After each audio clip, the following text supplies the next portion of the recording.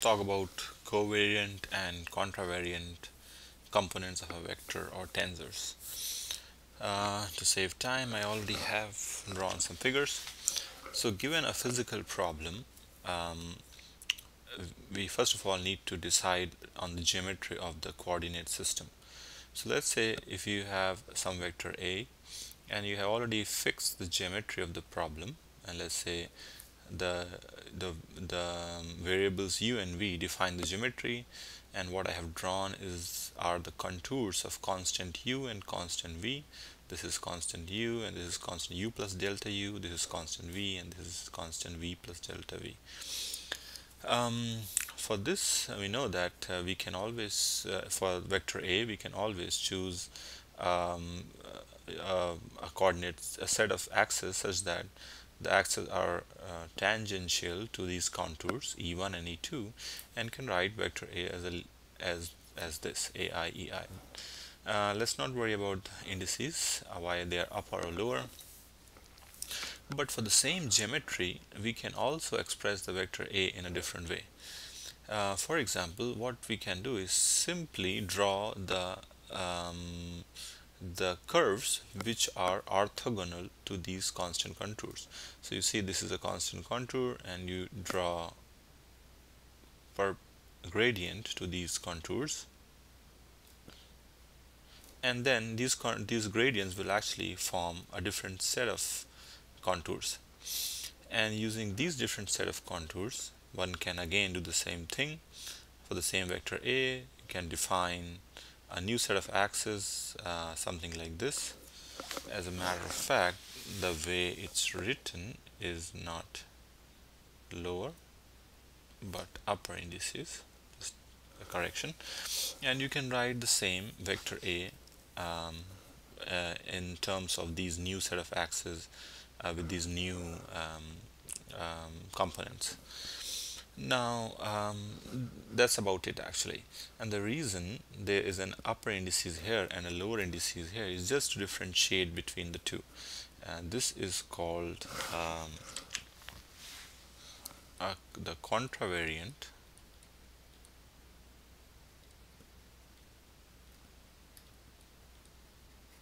Component of the vector and this is called the covariant.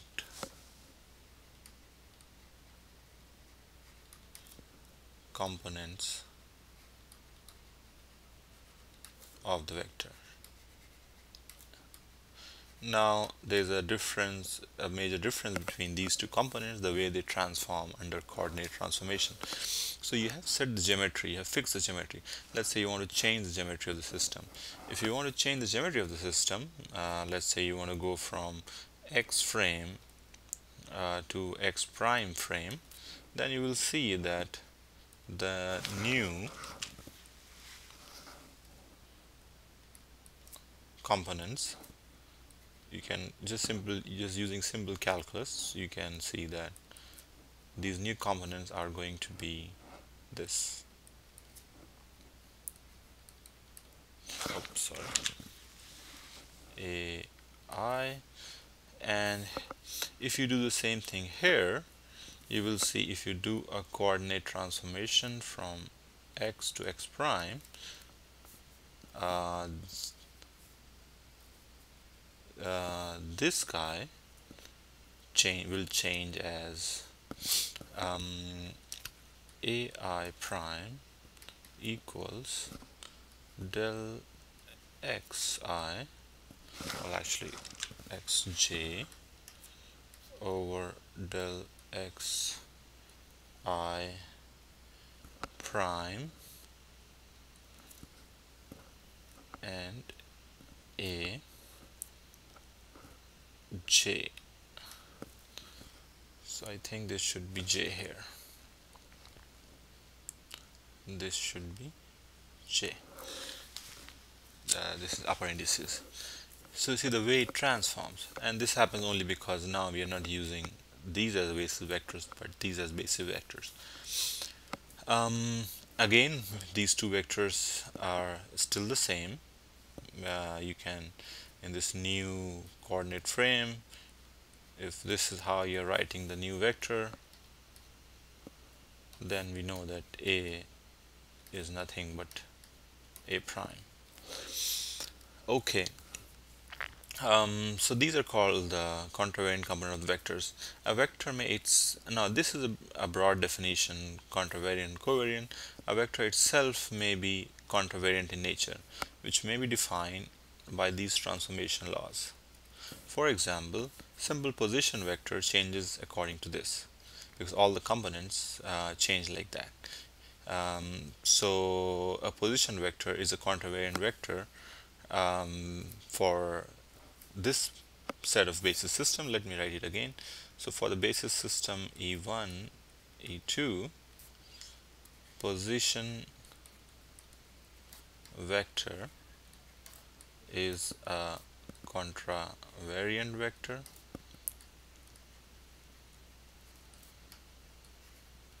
And for the same set of, axis um, gradient of a scalar is a covariant vector.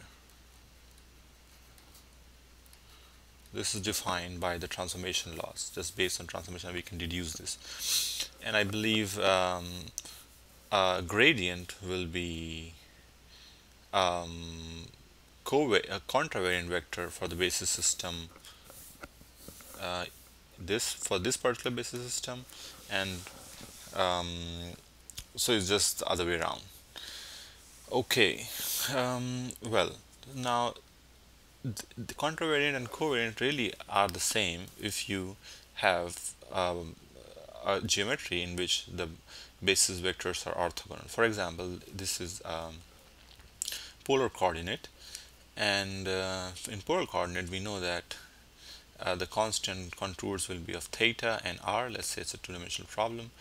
So um, a theta is er so a theta and er are orthogonal and if you should try to find the perpendicular contours you will see that the new contours actually coincide with the original one if it's a three-dimensional problem you can label the label the, um, um, uh, the axis like this. If you cho choose 1, 2, let's say x, y, z, if you are considering the contour x, y,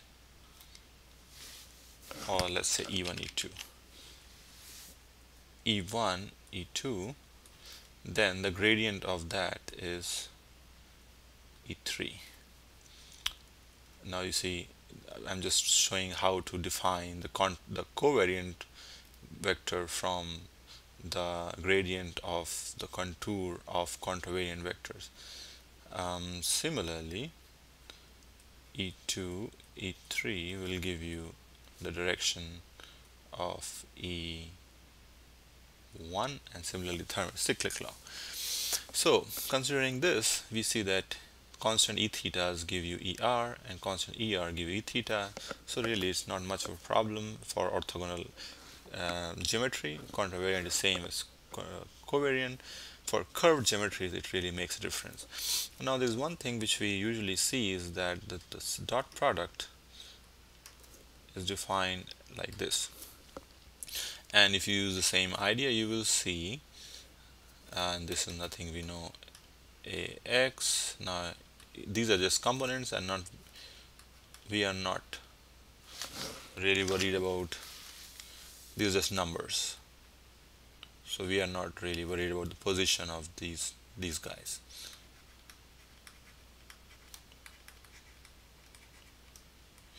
Okay and you will see that um, you will achieve obtain the same expression. So what you do you start with aj uh, you have aj now you start with bj and um, now you uh, well actually bj is the vector vector bj and express this in now this is covariant uh, contravariant you express you change the basis system such that you now have bj's and because they are orthogonal you will see that this guy is nothing but the whole thing. And this is true for certainly for orthogonal um, axis systems. So this is the way to write um, the, the inner product. Now you see the axis system has been changed from here to here by finding the gradient of these contours. Uh, the same thing can be done and uh, quantitatively and the way the thing that does it that if you have a contravariant component of a vector you can make it the bring it become make it covariant by multiplying it with something called the metric so this actually you can sum over j and you will see this gives you a actually let's call this i and this gives you ai so you went from contravariant to covariant and this is nothing but dependent on the geometry of the system as we saw. That is only the geometry that defines how the new gradients will look like. So gij is nothing but comes from the geometry of the system uh, I mean the, the, the, coordinate system.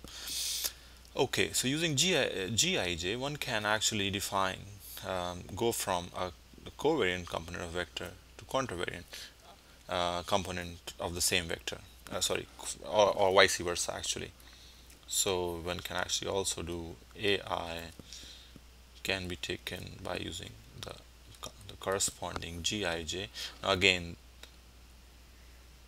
this is from geometry and AJ and this gives us AI the new AI alright so um, we went from covariant to contravariant and this is called Gij and Gij are called the metric metric of the geometry now I think we'll talk about the metric in the next lesson to make things more clear about the way the indices have been put and this whole process of going from contravariant to covariant. I just wanted to introduce how um, I mean I just want to introduce how um, this inner product actually extends to the case when the axes are not orthogonal. So Gij is actually delta ij for a Cartesian system